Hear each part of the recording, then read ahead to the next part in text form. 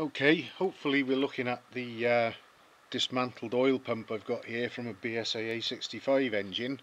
And it was um, brought in just the engine, I don't have the bike here because the oil light had been coming on and the owner wanted me to strip it down and investigate why obviously. And I stripped the engine right down and I couldn't really find anything that I could say ah that's it. Um, the main the main bearing, the timing side bush was a really good close fit on a nice clean journal on the crank. Um, the big end journals are good, the shells are good. All the usual culprits um, checked out okay. Um, what else did I look at? Oh, even the sludge trap, I had that out. Oh, although interestingly, the sludge trap, the, the plug, the screw-in plug in the end of the crank that goes in after the sludge trap, wasn't screwed in far enough and the head of it had been going round and walloping uh, the face of the thrust washer on the timing side bush. So I'll have to get another thrust washer for it but the bush is fine. Anyway further investigations led me to stripping down the oil pump. And whether the camera will pick that up or not I don't know. Um, but that spindle there is pretty wobbly as is the gear.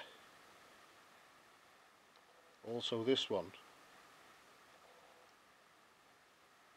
and although I've taken the gears and shafts right out of the pump and there's no scoring as such there there's obviously wear.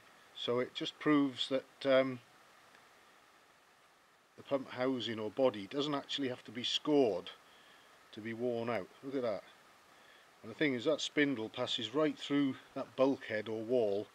This is the feed side of the pump. There's the scavenge side.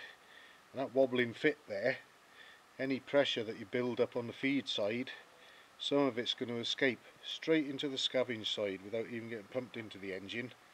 So although this pump body is not all gouged and scored it is totally worn out.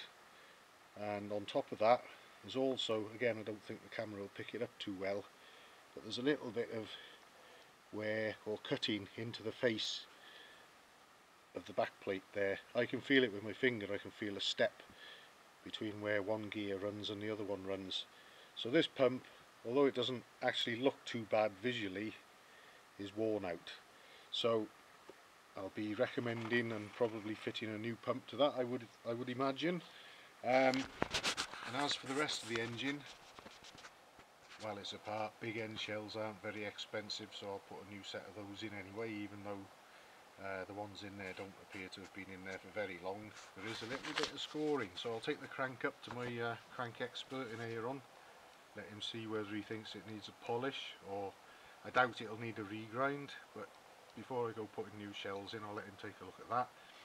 Get the new thrust uh, shim for the uh, timing side bush, and then I think it can all go back together, and if we fit a new oil pump, good oil pressure will be returned to this engine but that, that oil pump there is worn out and um, gears on the scavenge side were equally wobbly but uh, they wouldn't affect the oil pressure or the oil pressure light.